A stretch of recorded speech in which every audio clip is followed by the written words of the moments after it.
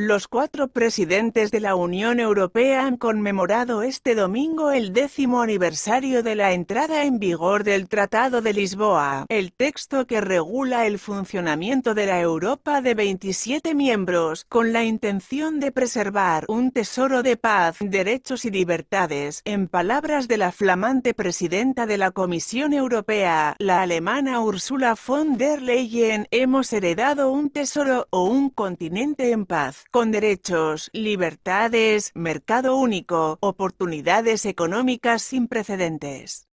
Nuestro deber es preservar este tesoro. Europa es algo que todos tenemos que construir ladrillo a ladrillo, día a día, ha declarado al inicio de la ceremonia celebrada en la Casa de la Historia Europea, en Bruselas, Bélgica. Von der Leyen ha estado acompañada del presidente del Parlamento Europeo, David Sassoli, el presidente del Consejo Europeo, Charles Michel y la presidenta del Banco Central Europeo, Christine Lagarde.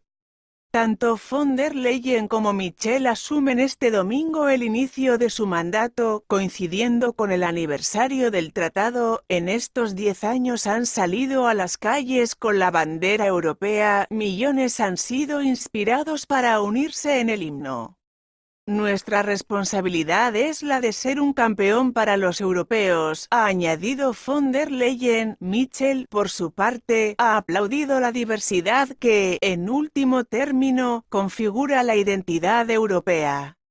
Es lo que nos confiere esta sensación especial de ser europeos, ha declarado.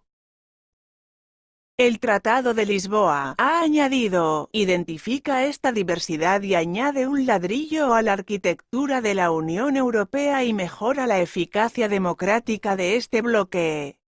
Para Michel, el tratado ha supuesto un éxito y es tan relevante hoy como lo fue hace 10 años. Hoy celebramos un nuevo principio con esperanza, cinco años marcados por una ambiciosa agenda europea en el siglo XXI ha concluido. Por su parte, Sassoli ha declarado que el Parlamento Europeo está listo para trabajar en conjunto como un solo equipo para avanzar en la construcción de Europa.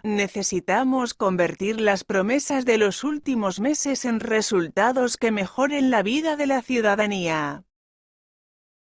Desde la lucha contra el cambio climático hasta frenar el constante aumento del coste de vida, las y los europeos quieren ver acciones reales y concretas. Ha manifestado un camino difícil que requiere un fuerte compromiso de nuestra parte para cumplir con las expectativas de millones de ciudadanos europeos que se movilizaron en las elecciones de mayo pasado con un importante incremento de la participación en comparación con los anteriores, ha rematado despachado.